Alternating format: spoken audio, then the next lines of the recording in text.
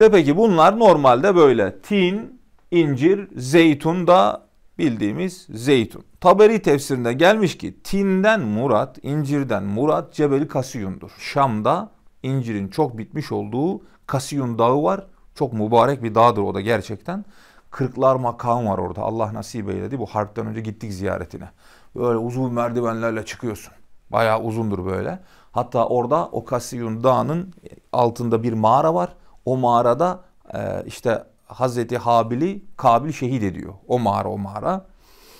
Onun hemen e, o e, makamda yani bir üstünde mescit gibi bir yer var. E, Hazreti Habil'in şehit edildiği o mağaranın içerisinde de İbrahim Aleyhisselam ile Hazreti Hızır Aleyhisselam'ın mihrapları var. Orada gelip namaz kıldığı.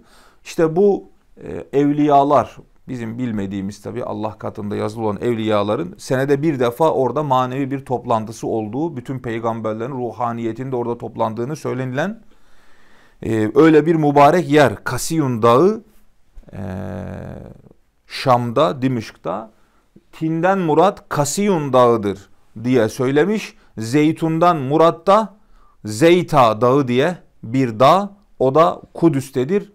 Doğu tarafındadır Kudüs'ün. Şam'da incir çok, zeytun de Babil'de çok olduğu için onlara yemin edilmiştir diyor. Sonra evet geliyoruz ayetin devamına. Allah Subhanahu ve Teala incire yemin etti, zeytine yemin etti. Üçüncü olarak vatur sinin. Tur normalde Arapçada dağ demek. Sinin Sina dağı, Tur Sina. Musa aleyhisselama Tevrat'ın verildiği Allah'ın Musa aleyhisselamın konuştuğu dağ, Sina dağı. Sina ne demektir? Peki niye ona Sina denilmiş? Sina normalde üzerinde çok ağaç olan dağ demek. Zuşecer demek yani. Ağacı bol, yemişi bol dağ. O dağda konuştuğu için Allah Subhanahu ve Teala Musa Aleyhisselam'la Musa Aleyhisselam'ın da mübarek ayakları oraya bastığı için mübarek bir dağdır. Allah katında kıymetlidir. Onun için Allah Subhanahu ve Teala ona yemin ederekten devam ediyor kelamına ve dördüncü son olarak yeminin dördüncü parçası وَهَذَا الْبَلَدِ الْاَم۪ينَ وَهَذَا الْبَلَدِ الْاَم۪ينَ Bu emniyetli şehire yemin olsun ki Mekke'ye. Mekke'yi mükerremeye yemin olsun diyor Mevlamız Subhanahu ve Teala. Evet bu dört şeye yemin etmesinin tabi asli gayesi nedir? Allah Subhanahu ve Teala'nın bunların çok kıymetli olduğunu belirtmek ve onlar niçin mübarek olmuş? Tabi hani tinin e, işte incirin çok olduğu yerler, zeytinin çok olduğu yerler, birisi Şam, birisi işte e, Kudüs. Bunlar Allah katında çok kıymetli oldular. Ondan sonra Tur-i Sina, ondan sonra Mekke-i Mükerreme. Neden? E çünkü diyor Şam e, incirin çok bittiği yerlerde İsa aleyhisselam orada doğdu. Ee, İbrahim aleyhisselamın hicret yerleri oldu oralar. Ondan sonra Kudüs zaten hep evliyalar yatağı orada İsrailoğulların evliyaları hep orada oldular. Mübarek mekanları orasıydı. Tur-i Tur Dağı Musa Aleyhisselam'ın ayak bastığı yer. Mekke-i Mükerreme'de zaten Resul-i Ekrem'in olduğu yer. Bundan dolayı buralar mübarek olmuştur. Efendimiz sallallahu aleyhi ve sellem şurada emin diyor ya emniyetli şehire yemin olsun.